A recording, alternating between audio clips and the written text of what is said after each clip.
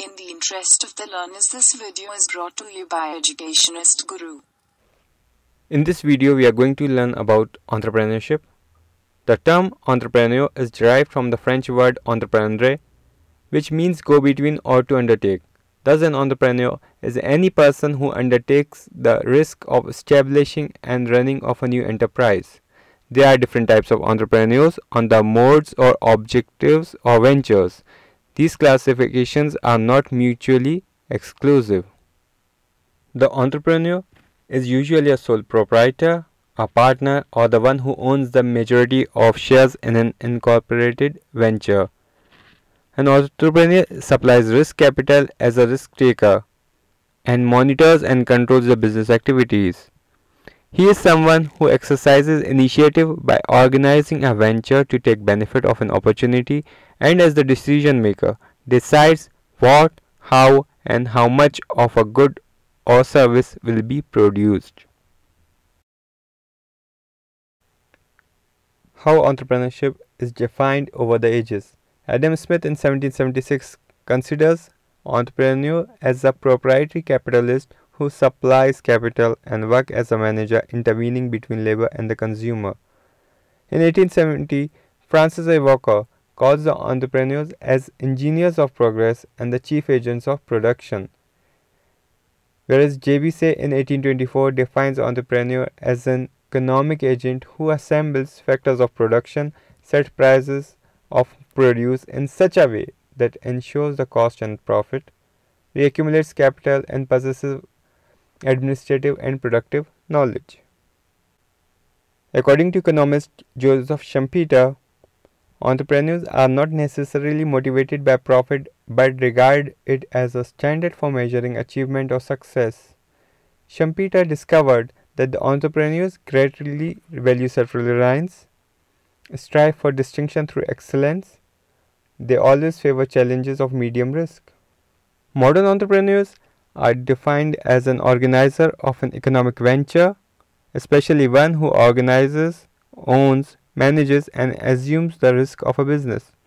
In the words of Robert D. Hisrich and Michael P. Peters, entrepreneurship is the process of creating something new with value by devoting the necessary time and effort, assuming the accompanying financial, psychic, and social risk and receiving the resulting rewards of monetary and personal satisfaction and independence.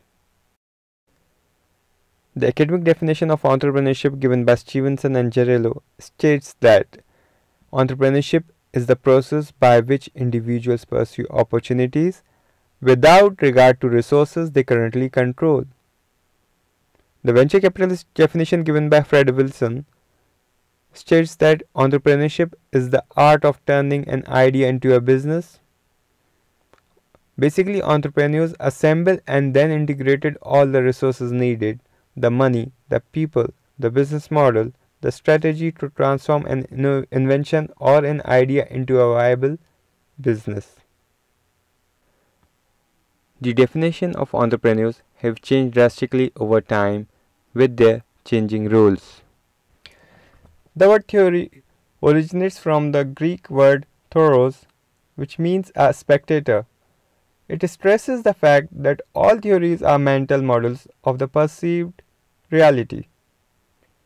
Theories are a set of assumptions, propositions, or accepted facts that attempts to provide a plausible or rational explanation of a causal relationship among a group of observed phenomena. There are various theories of entrepreneurship which may be explained from the viewpoints of economists, sociologists, and psychologists. For a scientist, theory refers to the relationship between facts. In another word, theory is some ordering principles. According to Joseph Massey, there is a diversity of approaches to the study of entrepreneurship. There is difficulty in defining just what entrepreneurship is and identifying just who is an entrepreneur. There are different opinions on the emergence of entrepreneurship, and these opinions may be classified into three categories. First is the economist view, second one is the sociologist view, and the third one is psychologist view. According to economists, entrepreneurship and economic development are independent. Entrepreneurship is an integral part of overall economic development. There are different famous theories which are given by economists like Leibenstein's X efficiency theory, J.B. Say's theory, Schumpeter's theory of innovation, Papanek and Harris theory, Harvard Business School theory, Kirzner theory of entrepreneurship, Knight's theory of profit, Hayek's theory of market equilibrium, and Mark Casson's theory, economic theory. Mark Casson, in his book Entrepreneurship and Economic Theory, he states the demand for entrepreneurship arising from the demand for change. He holds the thought that entrepreneurship is a result of conducive economic conditions. Economic factors that encourage or discourage entrepreneurship include taxation policy, industrial policy, easy availability of raw materials, access to finance on favorable terms, access to information about market conditions, availability of technology and infrastructure with marketing opportunities. Frank Knight's risk-bearing theory is adopted from Richard Cantillon and J.B. Say, and he adds to it the dimension of risk-taking. According to him, risk-taking is a central characteristic of entrepreneurship.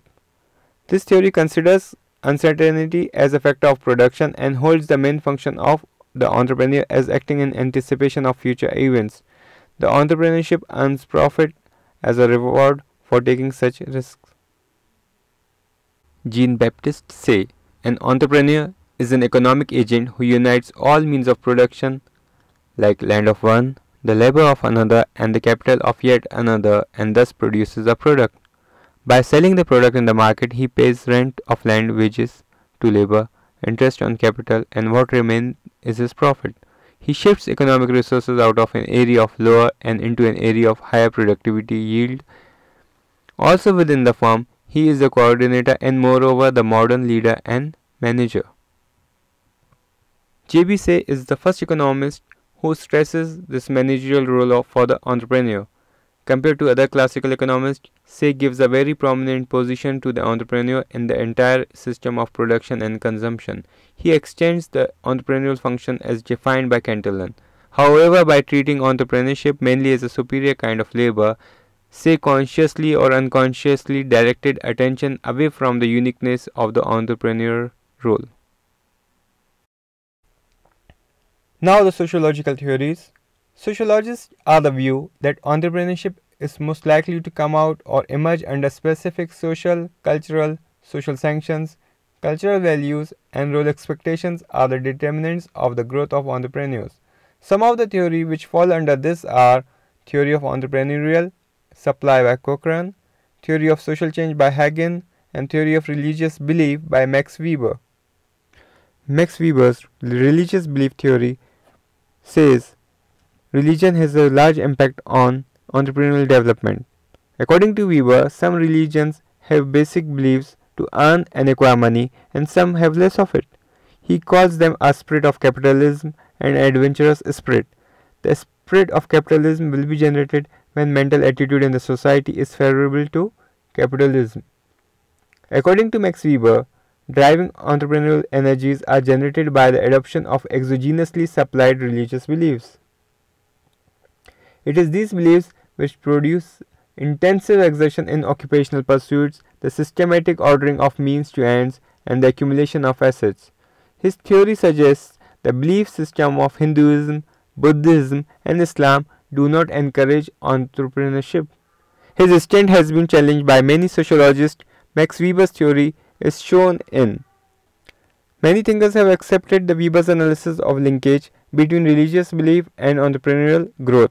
But this view is not accepted universally. Samuelson criticized Weber's view on the ground that capitalism also developed in those societies where Protestant ethic was not prevalent.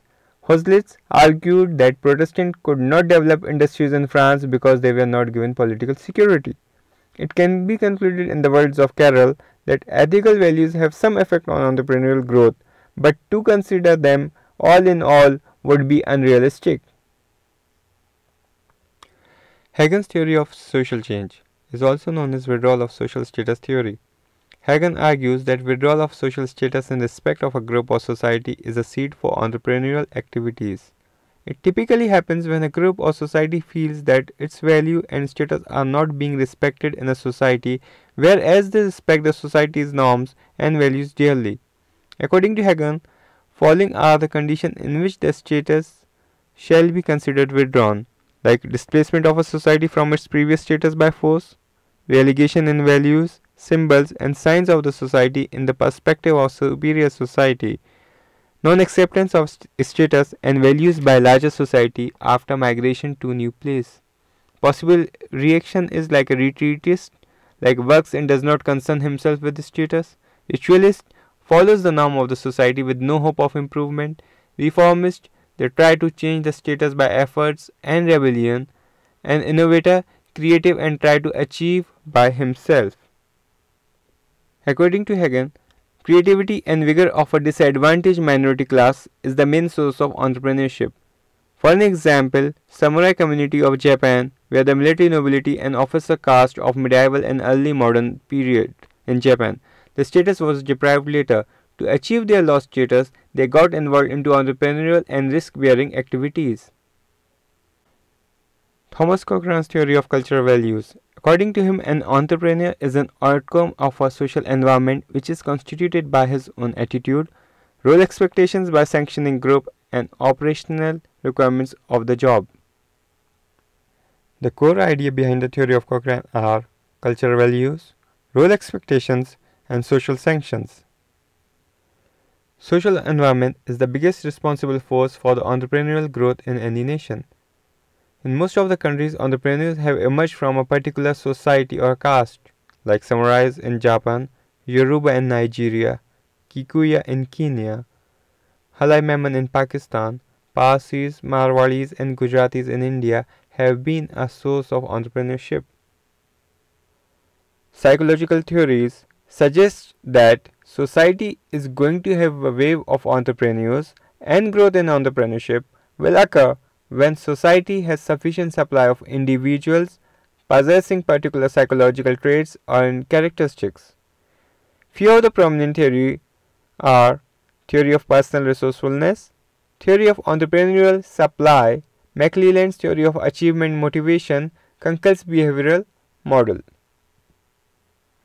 According to psychologists, entrepreneurship is most likely to emerge when a society has sufficient supply of individuals possessing particular psychological characteristics. The main characteristics are an institutional capacity to see things in a new way or having a new way vision, energy of will and mind to overcome fixed habits of thought, an urge to do something or to fulfill a dream, the capacity to withstand social opposition, and the high need for achievement. McClelland's need for achievement theory is another well-known need-based theory of motivation as opposed to hierarchy of needs or satisfaction dissatisfaction is a theory developed by David C. McClelland and his associates. McClelland developed his theory based on Henry Murray's, in which he developed long list of motives and the manifest needs used in his early studies of personality. McClelland's need theory is closely associated with the learning theory because he believed that needs are learned or acquired by the kinds of events people experience in their environment and culture. He found that people who acquire a particular need behave differently from those who do not have. His theory focuses on Murray's three needs achievement, power, and affiliations. Need for achievement is the drive to excel, to achieve in relation to a set standard, and to strive to succeed. In other words, need for achievement is a behavior directed towards competition with a standard of excellence. Need for power. The need for power is concerned with making an impact on others, the desire to influence others, the urge to change people, and the desire to make a difference in life.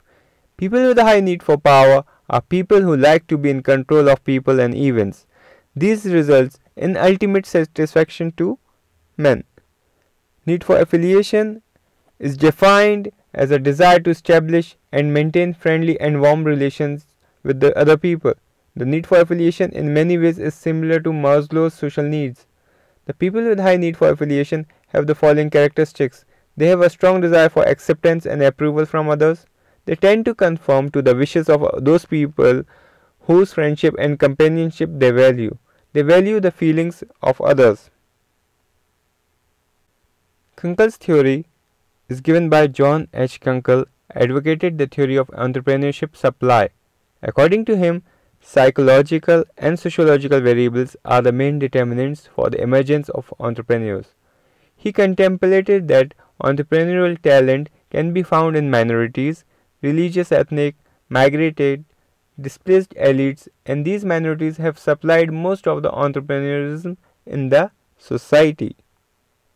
Kunkel's behavioral model is concerned with the overtly expressed activities of individuals and their relations to the previously and presently surrounding social structures and physical conditions. Behavioral patterns in this model are determined by reinforcing and aversive stimuli present in the social context. Hence, entrepreneurial behavior is a function of the surrounding social structure, both past and present, and can be readily influenced by the manipulative economic and social incentives. Dynamic theory of entrepreneurship was first advocated by Schumpeter, who considered entrepreneurship as the catalyst that disrupts the stationary circular flow of the economy and thereby initiates and sustains the process of development, embarking upon new combinations of the factors of production, which he succinctly terms innovation. The entrepreneur activates the economy to a new level of development. Schumpeter introduced a concept of innovation as a key factor in entrepreneurship. In addition to assuming risks and organizing factors of production, Schumpeter defines entrepreneurship as a creative activity. An innovator who brings new products or services into economy is given the status of an entrepreneur. He regards innovation as a tool of entrepreneur. The entrepreneur is viewed as the engine of growth. He seeks the opportunity for introducing new products, new markets, new sources of supply, new forms of industrial organization, or for the development of newly discovered resources. Furthermore, Schumpeter makes a distinction between an innovator and an inventor. An inventor discovers new methods and new materials. On the contrary, an innovator is the one who utilizes or applies inventions and discoveries in order to make new combinations. An inventor is concerned with his technical work of invention, whereas an entrepreneur converts the technical work into economic performance. An innovator is more than an inventor because he does not only originate as the inventor does but goes much farther in exploring the invention commercially.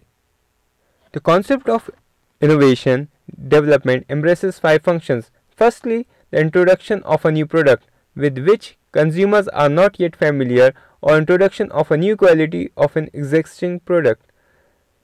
The second is introduction of new method of production that is not yet tested by experience in the branch of manufacture concerned, which needs by no means be founded upon a discovery scientifically new and can also exist in a new way of handling commodity commercially.